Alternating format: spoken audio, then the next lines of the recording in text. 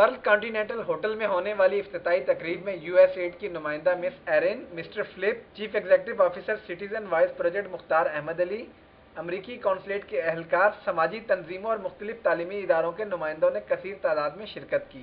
امریکی consul general Nina Maria Fite نے منصوبے کا باقاعدہ افتتاح کیا اور بتایا کہ اس پروجیکٹ کے تحت میونسپل سروس صاف پانی کی فراہمی اور توانائی کے منصوبوں پر کام کیا جائے گا تاکہ لوگوں کا معیار زندگی بہتر بنایا جا سکے This project will provide funding for various initiatives that foster citizens' dialogue with their government at all levels, national, provincial, and district levels.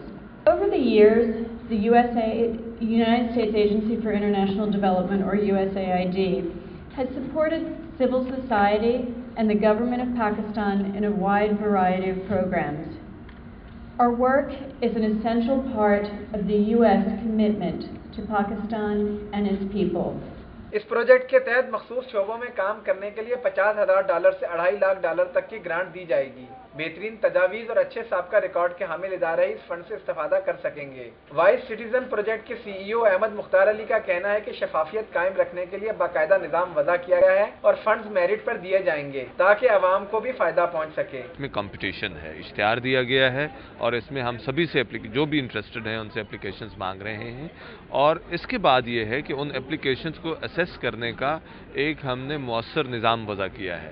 ایک کمیٹی بنائی جائے گی جو اس کو ریویو کرے گی، جس کو ہم گرانٹس مینجمنٹ کمیٹی کہتے ہیں، وہ اسیس کریں گے، وہ ریکمنڈیشنز دیں گے۔ اس کے اوپر ایک پروجیکٹ مینجمنٹ کمیٹی ہے۔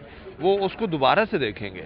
اور وہ اپنی ریکمنڈیشنز یو ایس ایڈ کو بھیجیں گے۔ اور یہ ابھی بھی حتمی نہیں ہوگا کہ یو ایس ایڈ اس کو دوبارہ سے بھی دیکھ سکتا ہے ایک اپنے انٹرنل پروسیس کے ذریعے سے۔ اور اگر ان کو لگے کہ کوئی جو ریکمنڈیشن آئی ہے اس میں کوئی بہتر نہیں ہے اور اس سے بہتر کوئی اور آئیڈیا ہو سکتا ہے تو وہ اس سٹیج پہ بھی اس چیز کو ٹھیک کیا جا سکتا ہے۔ امریکی کونسلیٹ اور یو ایس ایڈ کے نمائندوں کا کہنا ہے کہ تعلیم و صحت سمیت کئی شعبوں میں کام کرنے کی ضرورت ہے اور یہ پروجیکٹ کیری لوگر بل کا حصہ ہے۔